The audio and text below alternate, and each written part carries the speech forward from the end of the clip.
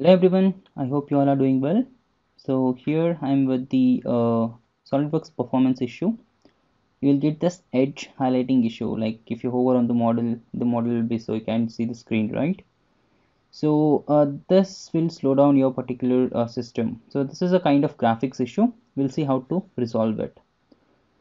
So you could see this is how exactly you're gonna uh, have the issue. So if you simply hover on the model, you'll get the same thing what you can do is you can just go to the uh, SolidWorks RX so whichever the version you are using it and simply click on uh, diagnostics. It will take some time.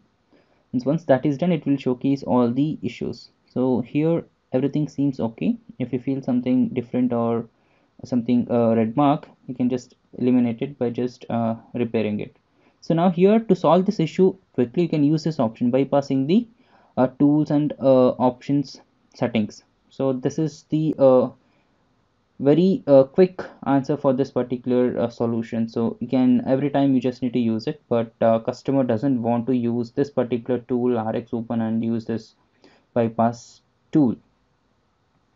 So uh, to permanently eliminate this issue i'll showcase something else later. But for now you could see once you run this uh, solidworks uh, bypass tool you could able to see you won't face this issue. So it is quite okay here isn't it so you can even work on it. You won't get that issue. Well so this is uh, one way you can solve this. Now if you close it and if you reopen it normally you'll get the same thing. So you know. So this I want to completely avoid it. So if you have the dedicated graphics card you can turn off and you can check. Uh, sometimes that will work with respect to performance. Okay here uh, you can uncheck these options and you can play with these options here. And at the bottom here you could see uh, performance enhancement so that you can turn it off. So what you can do is oh you need to completely uh, uninstall your software the solidworks setup. Okay i'm going to remove everything even the registry uh, download files and all everything. Okay you just need to deactivate a license save it somewhere else first and uh, completely uh, remove the software uninstall it. Okay De deactivate the license very important. Okay. You just need to enter the email id at the bottom. It will be already there if it is not available there. Okay. Can you need to enter it. So first thing is you just need to completely uh, remove the setup after uh, deactivating the license. Could see. It it is uh, it is telling us to it requires a continuous reboot. So don't worry about it just say yes. So while installing it will try to reboot. If you want to uh, if you don't want to restart it again and again you can just say no there. Okay? So for removing it might take uh, a few minutes for uninstalling entire uh, setup. So once the uninstallation is done what you can do is you can just go to the set of files the location where you have saved it and just run the setup again to install the software new. Before that before that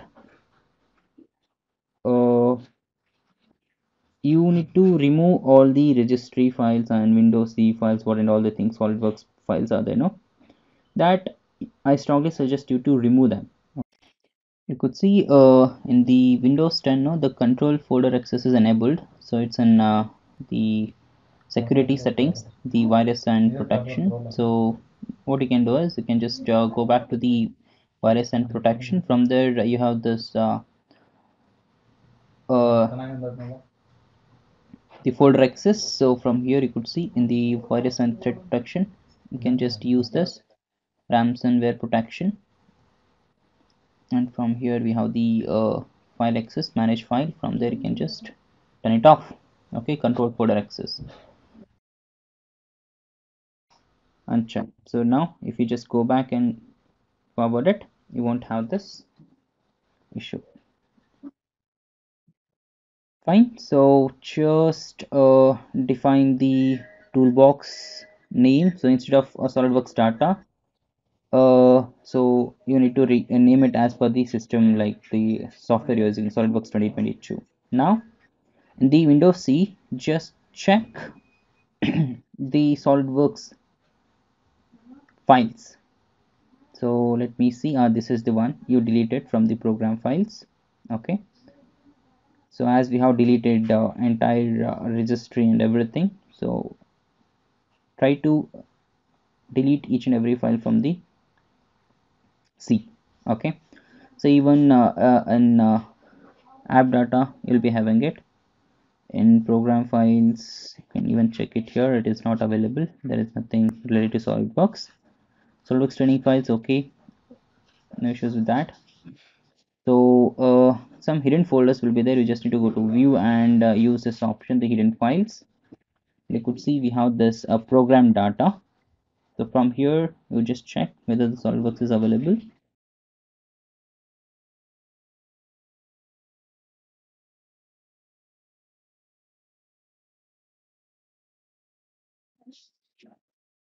Okay so once that is done you just go back to a registry editor. Just check whether you have any uh, registry file still uh, at your system. Just go to the current user software and solidworks. So this you need to delete okay? So anyway you're uh, installing it permanently a new one new setup. So try to delete these okay? In the software you could even see here also it is there okay? So what I'll do is I'll delete them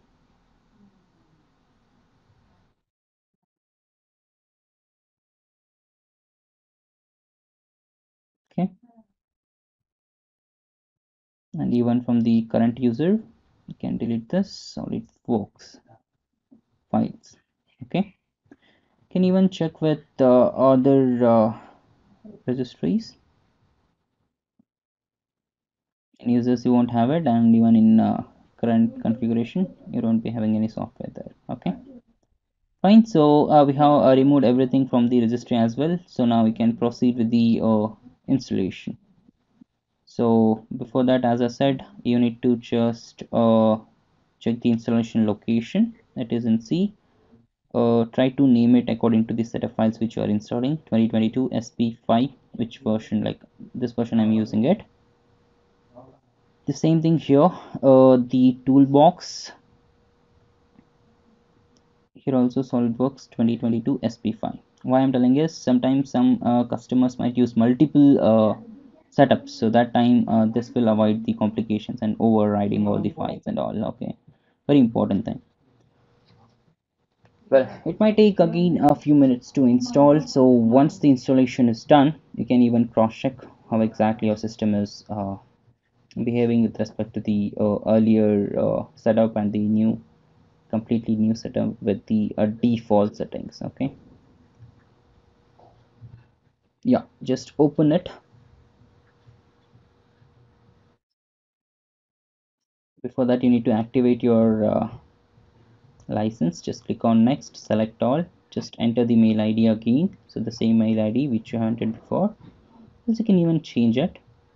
It depends. Okay once that is done you could see this the license uh, will be activated and you will get the pop-ups. Here you just need to uh, set the by default unit systems. Uh, kindly set it properly because next time if you want now open it it will take the whatever the unit system you're going to specify now. I'll add mm cheese and it will be fine. Click ok. Well so now you could see I just simply hover on the planes it doesn't have any lag if I go back to the model as well it doesn't have any kind of lags here. Okay? So these are the two alternative ways to just deal with this uh, particular issue. One is uh, directly uh, going to the SolidWorks RX and uh, running the diagnostics checking whether it has the graphics issues sometimes if you are using the integrated graphics uh, sorry uh, like the NVIDIA Quadro graphics it will show the uh, error. Sometimes the graphics might have uh, terminated. You just need to activate it.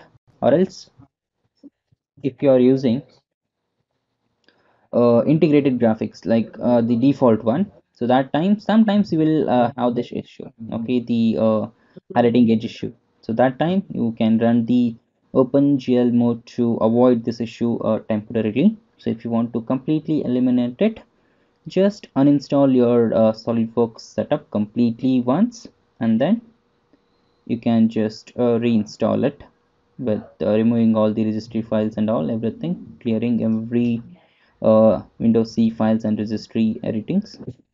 Then uh, you can easily uh, eliminate this particular system lag and edge highlighting issue yep so that's all about the session. Thank you guys. Stay tuned. Bye everyone